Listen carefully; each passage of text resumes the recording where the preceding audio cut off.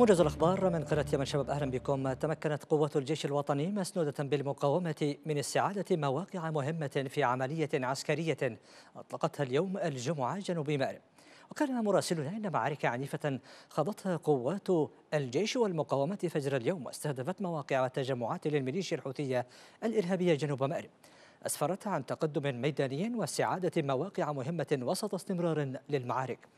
كما شهدت مناطق عروق اللجمة شرق معسكر أمريش والأعيرف شرق العمود بمديرية الجوبة وسائلة ملعا شرق مديرية حريب مواجهات مماثلة تلقت فيها الميليشيا خسائر في الأرواح والعتاد. أعلن التحالف العربي تدمير ست طائرات مسيرة أطلقتها ميليشيا الحوثي الإرهابية باتجاه المنطقة الجنوبية للسعودية اليوم الجمعة. وفق بيان نشرته وكالة الأنباء السعودية فإن الدفاعات السعودية دمرت ست مسيرات مفخخة أطلقت باتجاه المنطقة الجنوبية. وأكد البيان أن استمرار الأعمال العدائية الحوثية يهدد الأمن الإقليمي والدولي.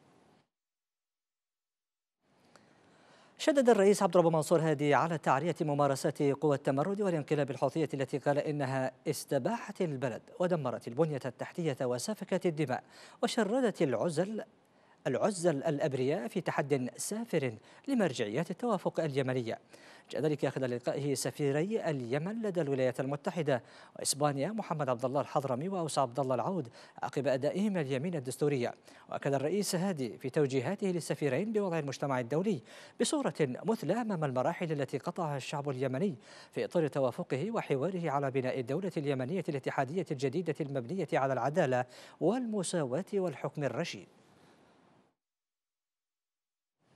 طالب محتجون في محافظة تعز بإقالة محافظ المحافظ نبيل شمسان من منصبه ومن ومن وصفوهم بالمسؤولين الفاسدين وذلك في الاحتجاج الدوري الذي يقام كل يوم جمعة أمام المقر المؤقت للسلطات في المحافظة.